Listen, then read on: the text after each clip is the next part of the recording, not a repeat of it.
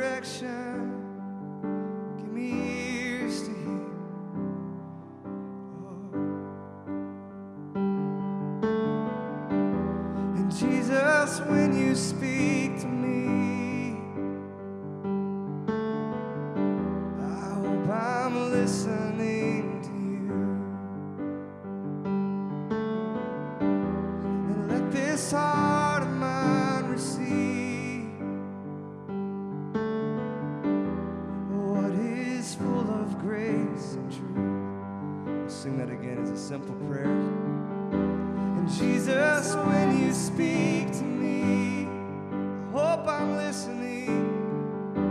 I hope I'm listening.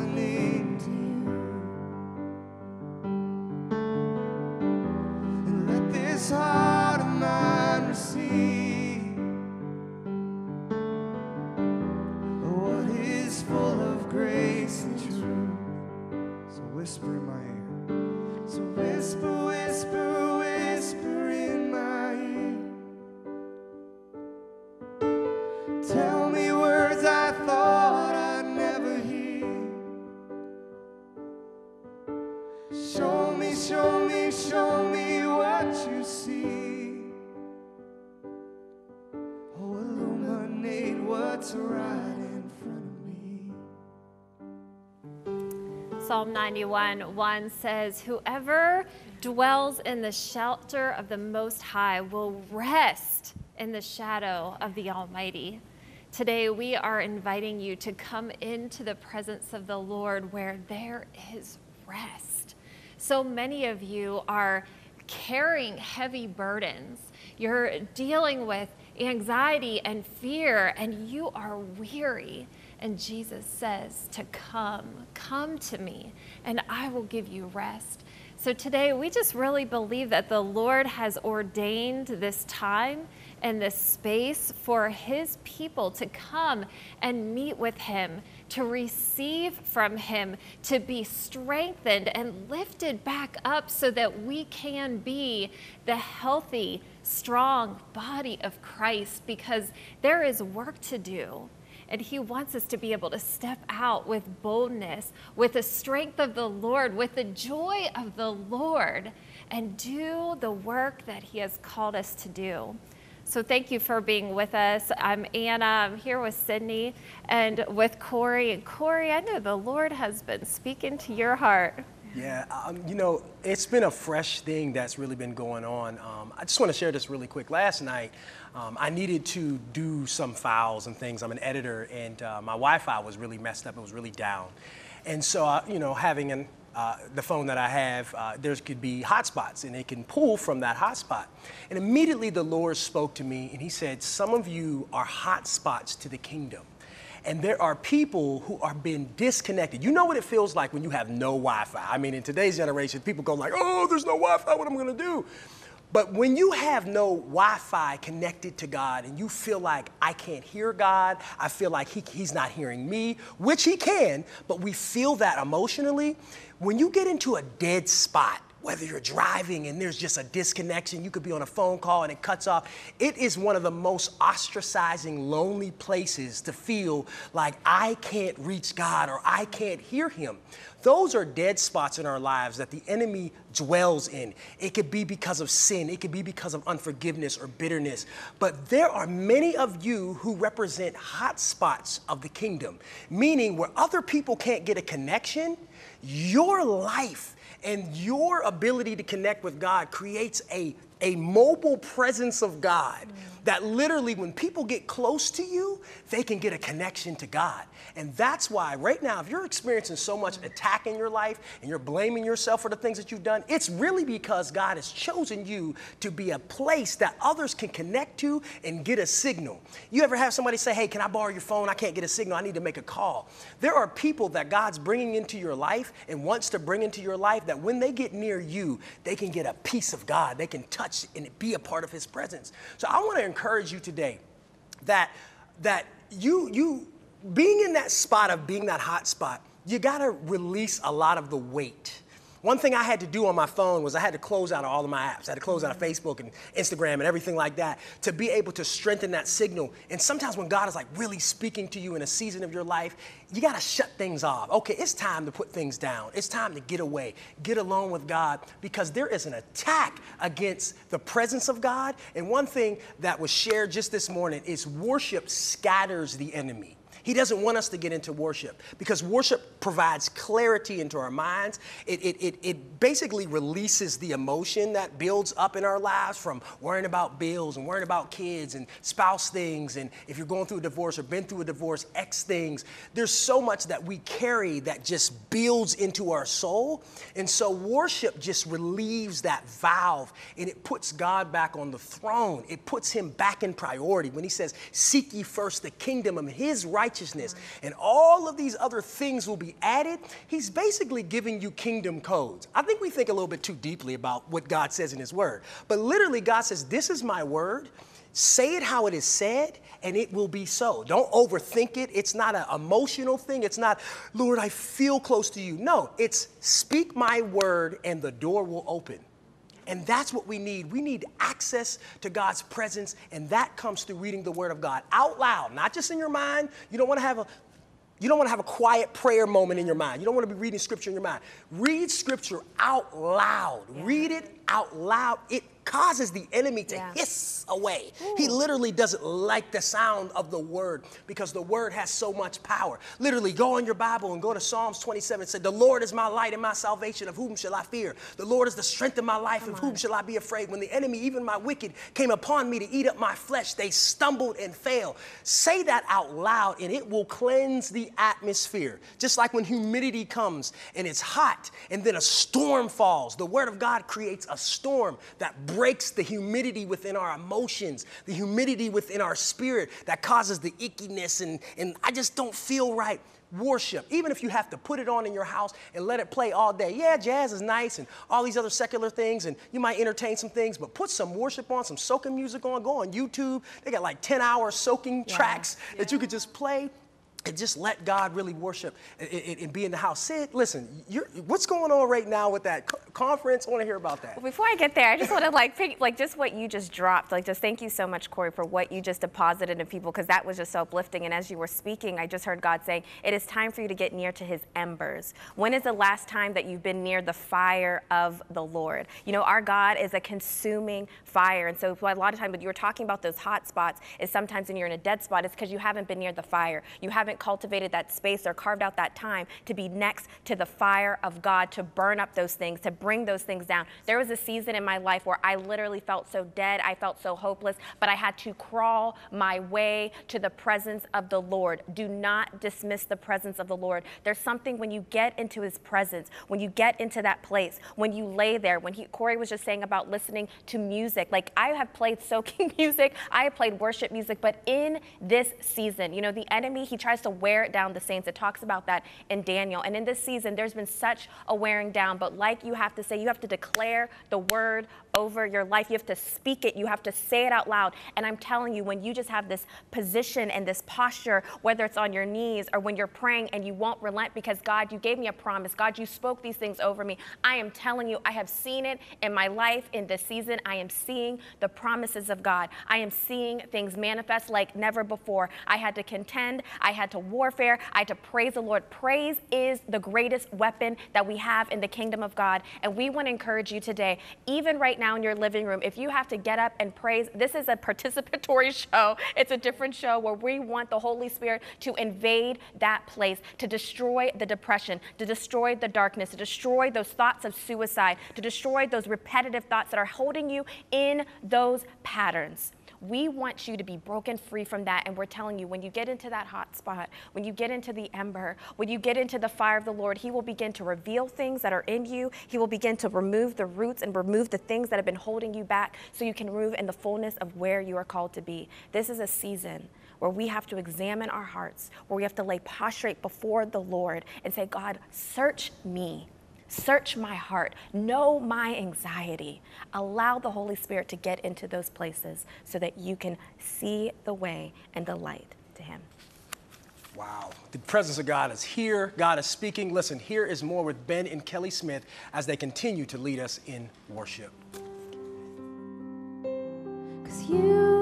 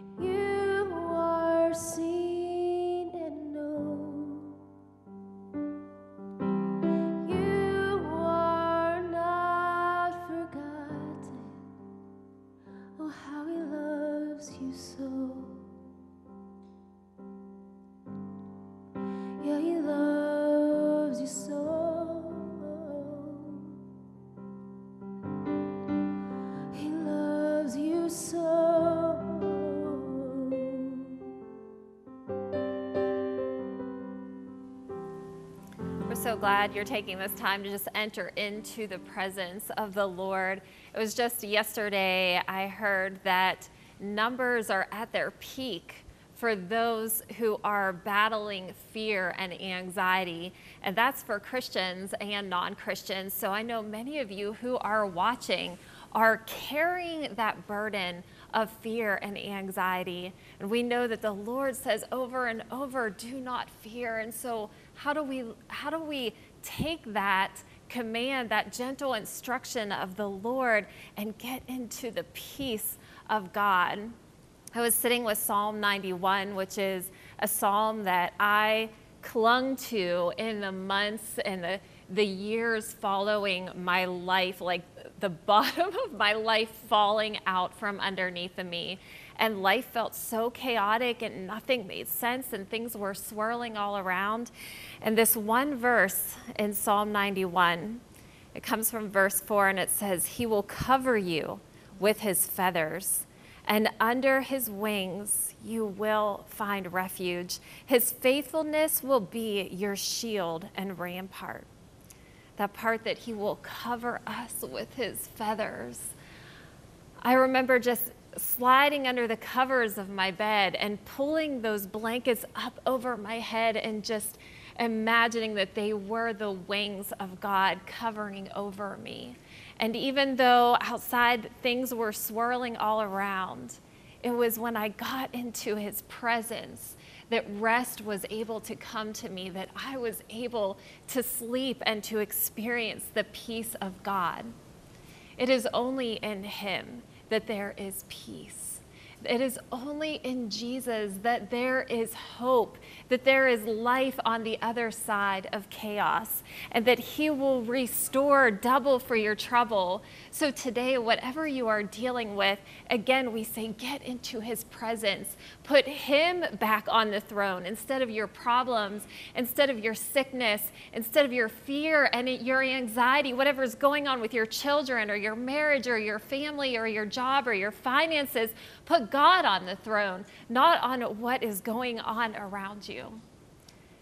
And this is the moment that we just want to speak into the heart of someone who maybe just happened on to this program today. Know that it's no accident that you are here. Maybe you don't know this Jesus, this Jesus that we talk about, who is our living hope, this Jesus who restores us, who gives us this supernatural peace. And you're like, oh, I've been trying a lot of other things to find peace, to hold on to control of the things that feel so out of control. Today is your day when Jesus has brought you to this place at this time. And he says, Child, you are mine. Come to me. Stop running away from me and trying all these other things. You are mine. You are safe in me. Your life is hidden in me. Friend, He's calling you to make Him your Lord and Savior. There is nothing in your past that will keep you from the saving grace of Jesus Christ, the one who left the glory of heaven to take on your sin, to take on your shame, and He hung on the cross and then he took all of that to the grave. And then it was just Jesus, our Lord and Savior, who rose from the grave victorious and left all of that sin, all of that shame, all of that in the grave so that you could be victorious, so that you could live. But there's only one way to that life, and that is through Jesus. So if you want to receive Jesus as your Lord, just come to Him right where you are with your own words, with your own personality, because He wants you to come just as you are and say, Lord Jesus, I need you to save me. Forgive me of my sins. Come in and cleanse me and make me new. Today is the day that I choose to follow after you and to let you be the leader of my life. And if you just prayed that prayer, know that we want to celebrate with you. We're here to pray with you and hear your story. Our number is 888 665 4483. If you're watching in the middle of the night, we are here for you. You can call us anytime. Wow. Yeah. Wow. Wow. I mean, the presence of God is just really strong here, and God is just really, really moving. Thank you, thank you, Anna, just for sharing that.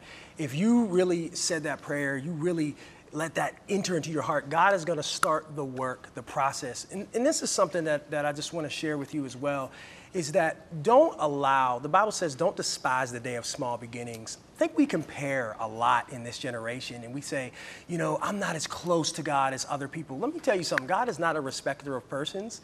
He will bring his fire on you and consume you. You, would, you have no idea. The more open your heart is, the more humble you are, God will really begin to speak to you. And I was just sharing something when, when um, uh, Sydney was talking about uh, embers earlier today. I was sharing something about, I was sitting on a fire pit one time and uh, I had some wet wood that was out in the rain. And so I had some dry wood, I put it in the middle and I lit the fire. And so I put that wet wood on the outskirts of the fire pit.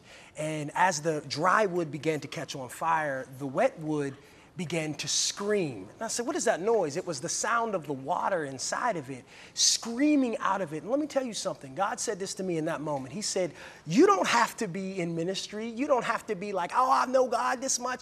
He said, Just get near my fire just get near my fire just get near my presence and what will begin to happen is that is that every dark thing inside of you will not be able to dwell it will come screaming out of you. You might say, I'm in this addiction, I'm in this habit, I'm in this relationship, I, am so far from God. God said, Get near my presence. Get near my presence. Get, just get close to me.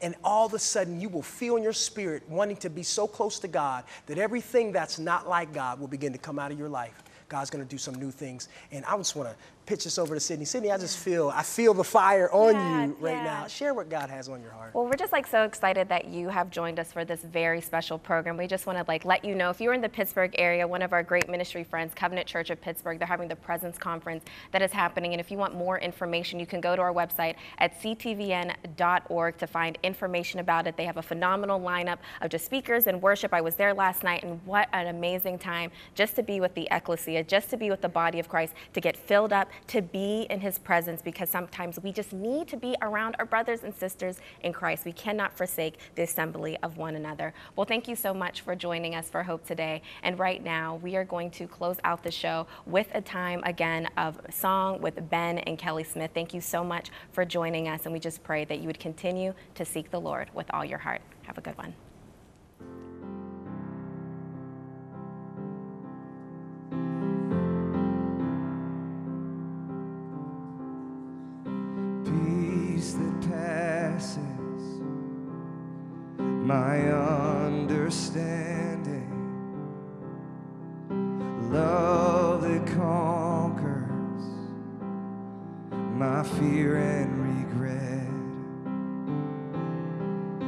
Joy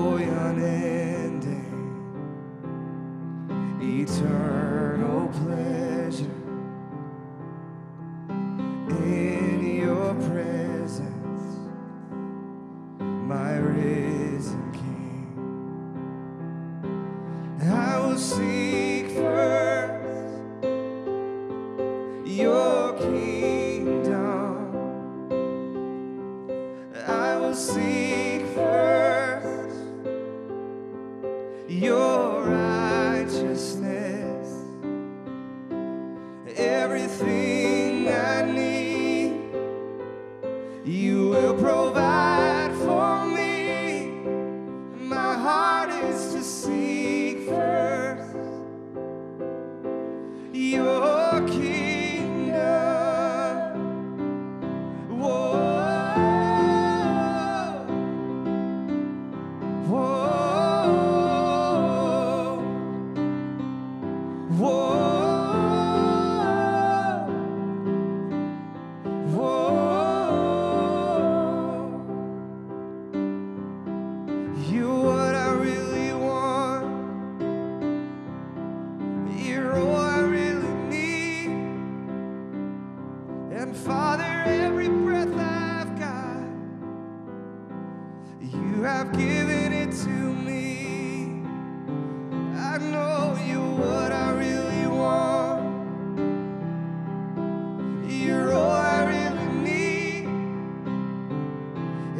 Father, every breath I've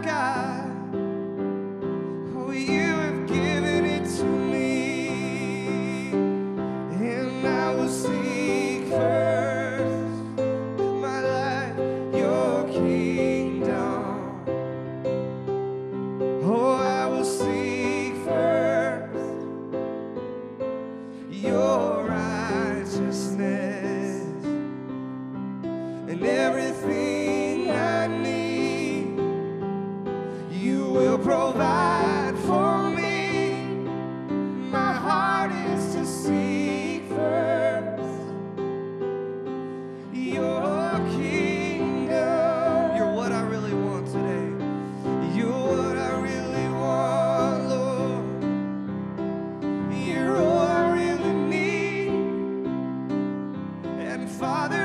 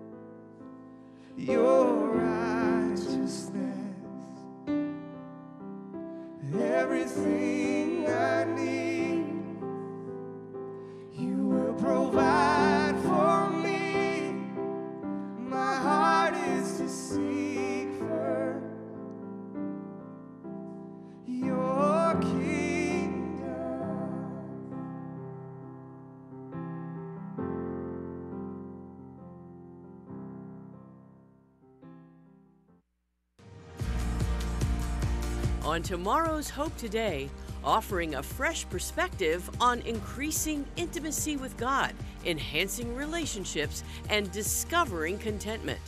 Author and speaker Wei Wei Chang offers several keys to help you reconnect with God and live a life free of fear and judgment. Don't miss tomorrow's Hope Today.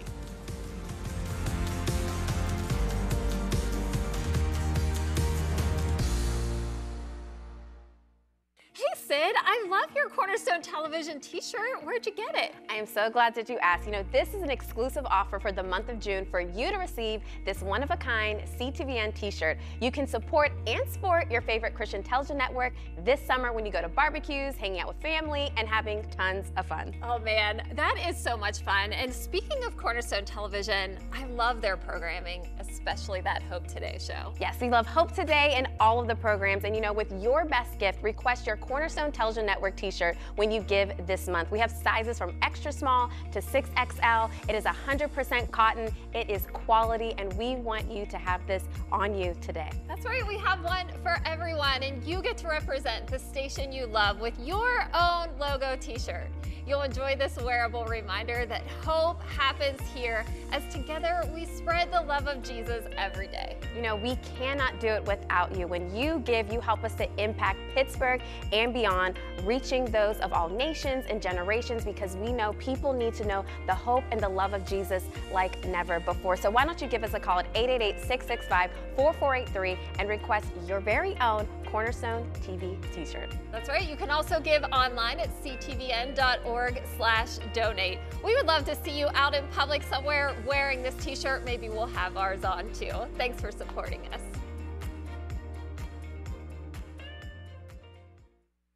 Cornerstone Television wishes to thank all our faithful viewers whose consistent prayers and financial support have made this program possible.